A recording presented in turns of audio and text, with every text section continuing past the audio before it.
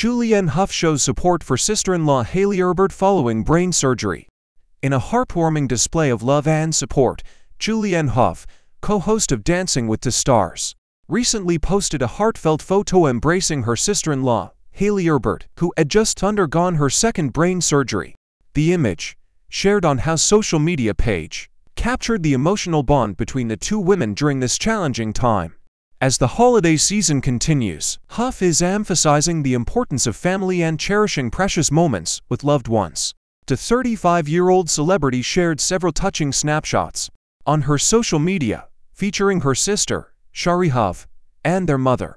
These pictures serve as a reminder of the significance of unity and support during difficult and uncertain times.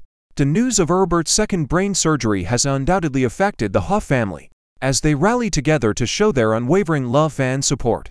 While details of the surgery remain undisclosed, Hough's heartfelt gesture and accompanying caption indicate the gravity of the situation. The family's unity and strength have become even more vital during this holiday season, as they hold each other extra tight through this challenging period. It is inspiring to witness the closeness and resilience of the Hough family as they navigate the ups and downs of life.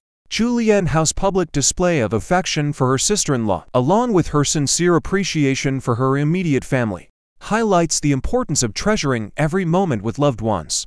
As the house band together to provide comfort and support, their bond serves as an inspiration to others facing similar challenges.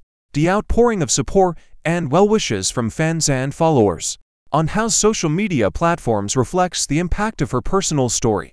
The Hough family's commitment to staying strong and united during this difficult time is a testament to the power of love and family ties.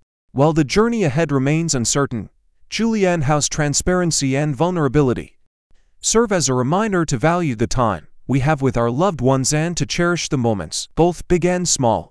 As the house continue to hold each other tight, their story resonates with individuals across the globe reminding us all of the fundamental importance of support and togetherness in the face of adversity.